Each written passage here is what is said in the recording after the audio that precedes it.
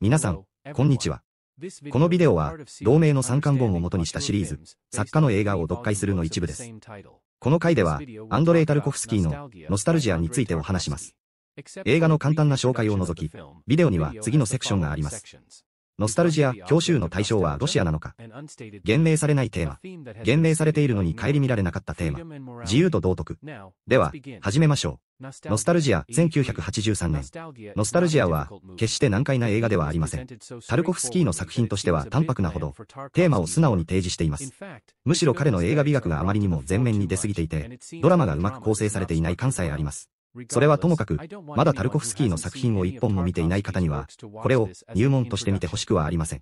映像は美しいものの、退屈で暗いという印象しか受けない可能性があるからです。タルコフスキーという映画作家に固有の世界感覚を知りたいなら、惑星ソラリスあたりから始めて、次に、アンドレイ・ルブリョフや、ストカーを見るのが良いでしょう。ノスタルジアはカンヌ映画祭でロベール・ブレッソンのラルジャンと共に創造大賞を受賞し、他にも2つの賞を獲得しましたが、これが映画作家タルコフスキーの到達点だとか代表作だなどと考えない方が良いと思います。タルコフスキー自身が日記で、私の最良の作品になるだろうと漏らし、アレクセイ・ゲルマンからの絶賛の手紙を引用しているのは、ストーカーの方です。ノスタルジアに関してはカンヌでブレッソンとの最高賞争いになることを懸念しているだけなのです。もちろん私は、この作品を批判するためにそう言っているわけではありません。映像美に関する賞賛や愛も変わらぬ象徴論を展開する自己陶酔気味の批評や、眠いとか退屈だとかいう単純なレビューの多いこの作品を、作品自体から導き出されるいくつかのテーマを手がかりに、まともに論じたいだけです。それらのテーマは、ノスタルジアの映像や物語やセリフの中に、かなり明確に反映されています。しかも、観客がそれらのテーマを十分読み取ることができるだけの、適度に緩やかなリズムを持って、映画は構成されています。そのように提示されているテーマは、作者が意図した通り、素直に読み取るのが自然です。他人の悲壮な批評に曇らされていない理性的な人間の目に、芸術作品はある程度以上、その作品の意味や作者がそれを想像した意図を開示してくれます。無限に多義的であるような芸術作品はこの世に存在しません。タルコフスキー自身が書いていることですが、芸術作品はそれが作られている法則に従って理解されるべきなのです。批評家であれ観客であれ、無限の作品解釈の自由を解くのは、すべての芸術作品に対する冒涜です。このような確信に基づき、また、安易で主観的な映像美の賞賛に対する反論の意味も込めて、私は本校において、この作品を主にテーマ論的に分析していきます。ノスタルジア、教習の対象はロシアなのか。この映画の物語は、あらすじとして要約してしまうと、以下に述べるように、非常にと言っていいほどわかりやすく、どちらかといえば通俗的です。現代人の信仰の喪失というテーマは、主人公を含む様々な登場人物の言動を通じて間接的に提示されています。この映画がソ連とイタリアの合作だったことから、直接的に触れられなかった理由は明らかです。クレジットに続く最初のエピソードで、ゴルチャコフは教会の外に残り、中に入ったエウジェニアは、教会の年老いた万人に、望みがあるならひざまずきなさいと言われるものの、その場にいる他の女たちのようにはひざまずけません。ホテルに着いたゴルチャコフは自分の部屋の備品を見て回りますが、その時、白髪の絡まった櫛が挟まっている聖書を見つけます。ゴルチャコフは鏡の前に立っており、カメラがその、粗末に扱われた聖書にトラッキングします。露天風呂の当時客の中にはドメニコを経験なのだと評する女性もいますが、彼女も他の当時客と論争したりはせず、単なる世間話としてそう言っているだけです。ゴルチャコフは、露天風呂で当時客たちがドメニコについて交わしている会話や聖カテリーナへの神のお告げを引用するカレーの嘲笑を聞き、彼らのイタリア語を部分的に理解したのでしょう。フェーデは何を意味するのかとエオジェニアに聞きます。彼女は、信仰をベーライオと答えます。ゴルチャコフは同胞から狂人扱いされているドメニコを、信仰の人だ、と擁護します。イタリアには多いわ、とエウジェニアに注意されても、彼はドメニコへの関心を強めるだけで、食事に招待したいとまで言い出します。ゴルチャコフはエウジェニアの助けなしでドメニコと会話した際に、彼から、私はエゴイストだった。自分の家族を救うことだけを考えていた。みんなを救うべきなんだ、という告白を聞きます。このセリフは、映画の最初のシーンでゴルチャコフが、自分一人のための美などもういらない、と言っているのとこうしています。この二人には共通の関心事、信仰と、人類の救済があるのです。しかし、無神論的イデオロギーによって支配される国の作家と強人扱いされているヨステビトという彼らの人物設定は、二人の間に通常の友情や交流が生じることを不可能にしています。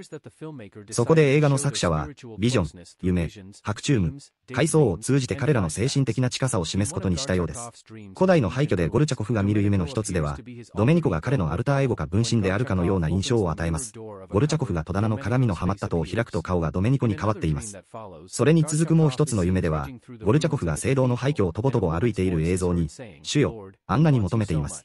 あなたの存在を感じさせて、という女の声が聞こえ、いつも感じさせている。彼が気づかぬだけだ、と男の声が答えます。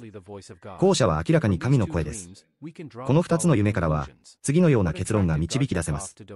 ゴルチャコフをドメニコに引き寄せたものは、信仰が可能だった人類の過去への教習と、それが失われたことによる喪失感です。ゴルチャコフの中には信仰への関心以上のものがあり、だからこそ嘲笑されながらも信仰を公言するドメニコに惹かれていくのです。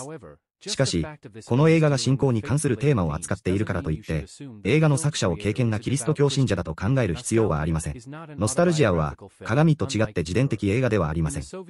タルコフスキーに限らず、70年代後半から80年代にかけてのソ連では、知識人たちの一部にロシア文化の根源としての宗教への回帰が見られました。宗教といっても必ずしもロシア正教やキリスト教全般とは限らず、キリスト教化以前からあった農村の自然崇拝的な感覚も含まれていました。劇映画では、ラリーサ・シェピチコにより着手されエレム・クリモフ監督が完成させた、別れにそれが顕著に現れています。長らく無神論的なマルクス・レーニン主義を通してきたソ連当局も、その頃までには世界宗教に対してはかなり寛容になっていました。また、ブレジネフ政権の末期からペレストロイカが始まるまでの間、冷戦状況は再び緊迫し、環境破壊その他の国内問題は当局の情報統制によって市民から隠されていました。知識人たちの多くは共産党政権下にある祖国の未来に希望を持てなくなっていたのでしょう。彼らの中には正教会で洗礼を受ける人々も少なくありませんでした。タルコフスキーより27歳若いアレクセイ・バラバノフ監督も、80年代初めに洗礼を受けたと語っています。ここでの彼の語彙や演説を行っている場所を考慮すれば、彼の言う祖先はキリスト教徒にもイタリア人にも限られないことがわかります。彼がその銅像の傍らで演説しているローマ皇帝マルクス・アウレリウス・アントニヌスはストア派の哲学者で、彼が自分のために書いた自制録は、時々、神々に言及しながら、理性に従って生きることを説いています。ピラミッドを作った古代エジプト人たちも多神教徒でした。ドメニコは特定の宗教的ドグマにとらわれることなく、人類全体の過去と未来を見据えて、現代文明の末路を警告しています。そのことは演説が進むにつれてはっきりしてきます。世界が前を向くことを望むなら、いわゆる健全な人もいわゆるやめる人も手に手を携えて混ざり合うべきだ。なぜなら、人類の目は崖っぷちを見つめているのであり、いわゆる健全な人々が、世界を動かして破局の淵まで来たからだと彼は主張します。しかし彼が結論に移る前に、映画の作者たち、タルコフスキーとグエッラは、ドメニコに私的な言葉を話させ、村に戻ったゴルチャコフのエピソードに移行しています。そのことによって、突然饒舌になったドメニコの演説を咀嚼する時間を観客に与えているかのようです。再びカンピドリオ広場のエピソードに戻った後、ドメニコの演説は決定的に重要な部分に移ります。世界は再び一体となるべきだ。バラバラになりすぎた。自然を見ればわかることだ。生命は単純なのだ。みんなで道を間違えたところに帰るんだ。戻らなければならない。生命の始まりに、水を汚さぬところまで。お分かりのように、ここではこれ以上ないほど明瞭に、エコロジーの思想が述べられています。自然への回帰の必要性という、この映画に関してほとんど論じられることのないテーマが、はっきり言語化されているのです。教習のテーマは、このテーマを通じて、単なる個人的感情ではなく現代文明への警告と結びつきます。自然への回帰といっても、ドメニコは人間が原始生活に戻るべきだと言っているわけではありません。自然に目を向け直して、物質的な快適さ、下水道や学校の壁、アスファルトや福祉事業を追求するあまり環境を汚染し自らを破滅に導いている現代文明のあり方を見直すべきだと言っているのです。しかし、21世紀のプラグマティックな現代人の多くがグレタ・トゥーンベリの演説に対して無関心や嘲笑や皮肉という反応しか示さなかったのと同様に、ドメニコの演説は聴衆に無視されます。80年代前半に制作されたこの映画にエコロジー思想を読み取るのは、うがちすぎだという方もいるかもしれません。しかし当時高校生だった私が最も共感したのは、他でもないこのテーマです。